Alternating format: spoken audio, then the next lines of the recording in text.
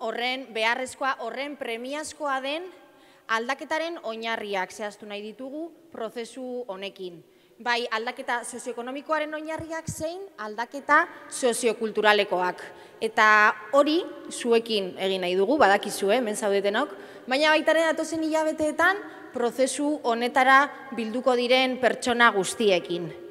Baina gaurko ekitaldiaren helburua da asaltzea zertan datza prozesu hau, zeintzuk diren helburuak, zein izango den ekinbidea. Helburuan, eh, prozesuan lehenengo helburua diagnostiko bat egitea da, diagnostiko gaurkotu bat.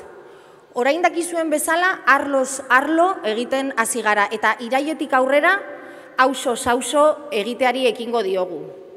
Momentu honetan, berreun pertsona baino gehiago ari gara modu aktiboan prozesu honetan parte hartzen. Adinen ezberdinetakoak, lanbide, sektore ezberdinetakoak, baita ibilbide militante ezberdinetako pertsonak. Eta, desde luego, posik gaude horregaitik. Bilbon aldaketa hau gauzatzeko estrategikoak eta klabeak diren gaiei buruz ari gara jada hitz egiten. Eta helburua da bakoitzaren argazki bat egitea.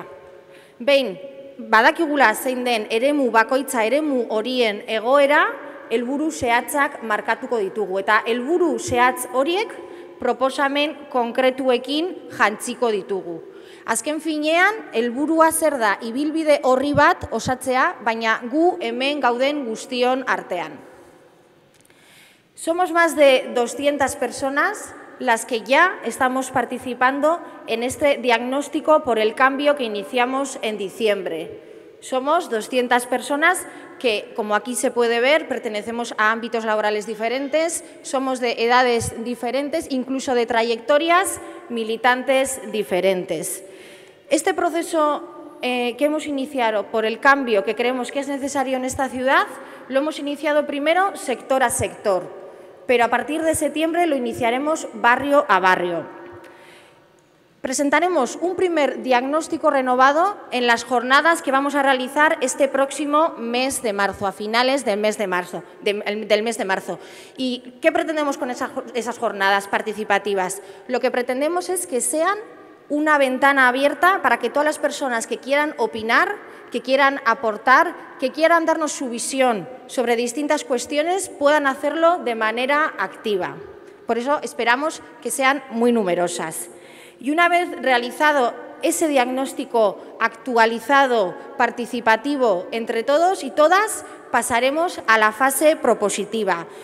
Eh, en donde mm, definiremos los ejes vertebradores de la hoja de ruta que tenemos que marcarnos para los próximos meses y los próximos años. Y esa hoja de ruta, además, la acompañaremos con propuestas que elaboraremos entre todos y todas. Porque hay una cosa que tenemos claro, el objetivo es el cambio, algo que creemos que es urgente. La realidad, a pesar de que algunos y algunas la quieran maquillar, es muy preocupante y sobre todo es preocupante para cada vez sectores más amplios de nuestra ciudad. Estamos actualmente con unas tasas de paro del 17%, máximas históricas desde hace muchísimos años y más de 30.987 personas están sufriendo las consecuencias de esta crisis, que a priori algunos consideran que no están vinculadas a las políticas municipales, pero nosotros, desde luego, tenemos claro que sí, ya que tenemos que recordar que es eh, opción y, por lo tanto, deber de las instituciones aplicar una política fiscal progresiva donde pague más quien más tiene, cosa que actualmente no se está haciendo. Hay que recaudar de manera justa y equitativa, que es lo que este ayuntamiento no está haciendo. Y no solo eso, desde las instituciones como el Ayuntamiento de Bilbao se tiene la posibilidad y, por lo tanto, el deber de minimizar el abismo social que actualmente existe en nuestra ciudad, porque con ese dinero que se recauda o que se debería de recaudar, con políticas fiscales más progresivas, lo que se tiene que hacer es, por un lado, invertir en políticas sociales, pero en serio.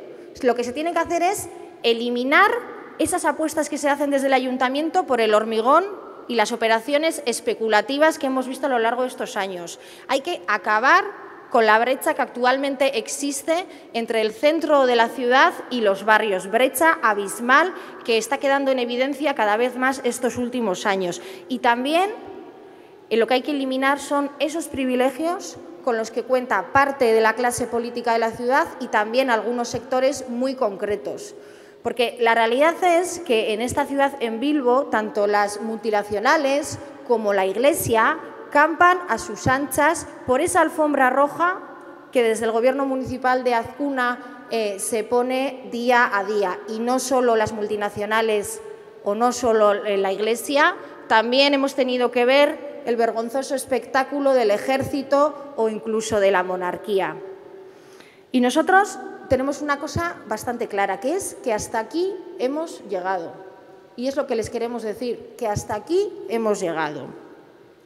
Creemos que es de vital importancia afianzar entre todos y todas los que estamos aquí las bases para el cambio y avanzar firmes en ese camino que hace ya un tiempo empezamos a andar.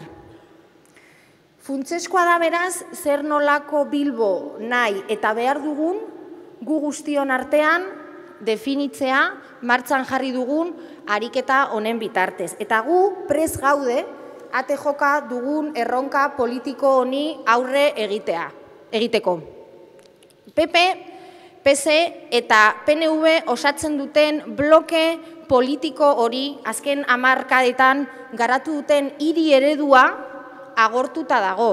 Goia jodu eta ez du gehiagorako ematen. Eta uste dugu horren adibide argia dela adibidez e, Bilbao Ria 2000aren egoera. Kapitalismorik basatienean oinarritutako eredu horren gainberan gaude. Baina zoritzarrez gainbera horrek ondorio larriak ekarri ditu gure irira hain zuzen ere prekarietatea eta pobrezia.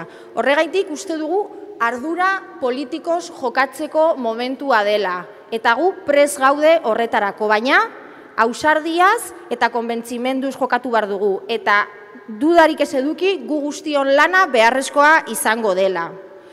Por eso decimos que esta iniciativa por el cambio es un ejercicio de responsabilidad política, porque el cambio es necesario para la consecución de un Bilbao democrático. Un Bilbao donde se haga algo que ahora no se hace y es respetar todos los derechos para todas las personas, construido por y para la ciudadanía. Herritarren gatik eta herritarren gana iritzi behar den Bilbo bat. Eta espekulazio finantziarioan edo irigintza espekulazioan oinarritu baino, beste balore batzuetan oinarrituko den hiri bat garatu nahi dugulako. Elkartasunean, anistasunean, sexu parekidetasunean, justizia sozialean. Urruti ikusten dugu egungo bilbo balore hauetatik. Eta behar izan horiei eta bestelakoei erantzungo dien bilbo hori beharrezkoa da ezinbestekoa Eta batez ere gauza bat argi daukaguna da, guk ez baldin badugu aldaketa hori planteatzen nork egingo du orduan. Momentu honetan gu gara aldaketarako, alternatibarako proposamen bakarra. Eta hori da sinistu eta praktikan jarri bar duguna. Elkarrekin egingo dugu bide luze hau. Eta orduan ikusi halko dugu zer nolako bilbo izan nahi dugun, zer nolako bilbo amesten dugun, zer nolako bilbo eraiki nahi dugun, edo zer nolako bilbo bizi nahi dugun.